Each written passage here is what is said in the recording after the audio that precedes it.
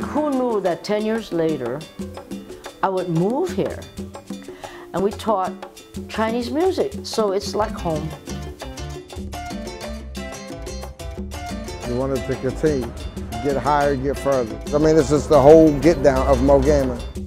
I used to just be just like a shy person. I never thought I would be anything or do anything like that. If it is legal for the police to act like that, then we're in big trouble.